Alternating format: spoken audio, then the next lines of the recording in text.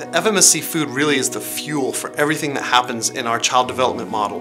Without a meal, there's no education. There's no economic empowerment. To us, feeding a kid is the beginning of really having an impact in a community, in a family, and in a country. The food each month is so vitally important. If we did not receive the food each month from Feed My Starving Children, people would literally starve to death, and especially the children. The partnership that we have is literally saving people. In our daily programs, our community transformation, the 90 kindergartens that we run, that food is just an essential piece. Feed the Hungry is able to serve in excess of 12,000 kids every day, Congolese refugees that are in school and are hearing the gospel and getting basic foundational needs met because of the partnership with FMSC. There's 426 schools and orphanages that we get to serve because of FMSC. These are kids that otherwise wouldn't be in school. These are kids that otherwise probably wouldn't be eating much at all. Well, we say empty bed cannot stand. So if uh, if the person is hungry, how can you even talk to them when they, they can't even pay attention?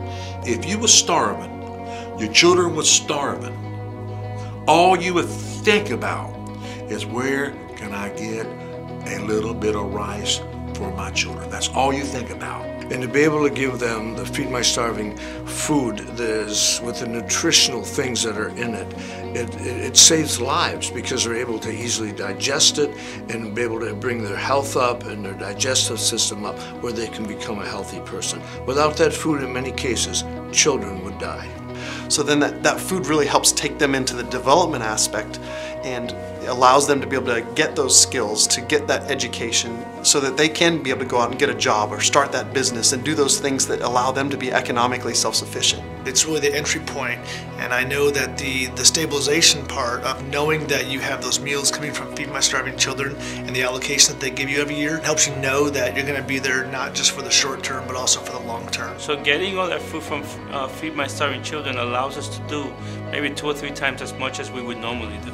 If we didn't have a partner like Feed My Starving Children, uh, I could honestly say we probably couldn't do 70% um, of what we do. To know that we can have that uh, piece of our budget the nutrition side taken care of because of FMSC frees up resources to do other things. So we're able to drill water wells, provide libraries, provide medical supplies and medical instruments to be able to save lives both physically and spiritually. So without the help and the food from Feed My Starving Children, uh, we couldn't do the other things that we're doing that make a tremendous difference in helping us to reach the world for Christ the looks on the faces of the children, the looks on the faces of the moms who may not have the food to be able to give to their children every day. It's incredibly priceless. And for volunteers to be coming through the door on a daily basis, they're saving lives. Without you, we couldn't do what we are called to do, which is really serve the poorest of the poor. So please give generously uh, to feed my starving children, get out there and pack and, and really do your bit to, to bless those people in the world who are less fortunate.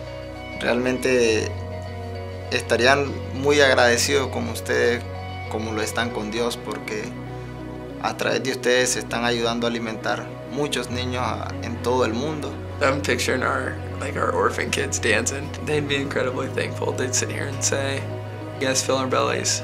Thank you. God will bless you for what you're doing and keep it up. A lot of the kids would say thank you for life. That package of food to them represents life. The people have done the packing. The people, the donors who have given money to make sure that the food has come, we say thanks so much. Rest assured, we'll continue doing this work as long as you are with us, ministering, and actually is the ministering the word of God through giving. So God bless you.